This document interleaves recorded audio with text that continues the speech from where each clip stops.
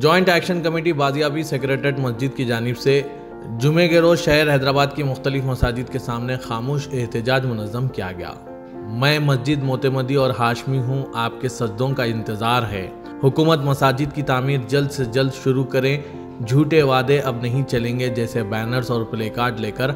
मलकपेट मस्जिद इदारे मिलिया, विजयनगर कॉलोनी मस्जिद फिरदोस, बोराबंडा, जामा मस्जिद, मुगलपुरा मस्जिद सलाउद्दीन के अलावा याखुदपुरा, कामेटीपुरा, उस्मानबाग, मल्लेपल्ली राजेंद्र नगर बंडलागुड़ा, सिकंदराबाद, मारटपल्ली मुशीराबाद टोली चौकी, हकीमपेट, काली खबर, दारुशफ़ा, बहादुरपुरा, कबूतरखाना, हुसैनी अलम और कई दीगर मसाजिद में खसूसी दुआएँ की गई। मसाजिद की दोबारा जल्द अज जल्द तामीर के लिए जॉइंट एक्शन कमेटी ने कहा कि एहतजाज की निगरानी एक्शन कमेटी के मरकजी टीम के अरकान, एम ए गफ़ार नायब सदर शबान और इंचार्ज एहतजाज उस्मान मोहम्मद खान ने की। पेश है इस खसूस में एहतजाज के कुछ झलकियाँ। Bureau report Siasat dot com. मस्जिद शहीद होकर सोलह महीने हो चुके हैं हुकूमत अभी तक संगे बुनियाद नहीं रखी है। जल्द से जल्द सेक्रेटरीट मसाजिद के संगे बुनियाद रखी है। वरना संगे बुनियाद ना रखी जाएगी तो फ्लैश प्रोटेस्ट का सिलसिला ऐसे ही जारी रहेगा।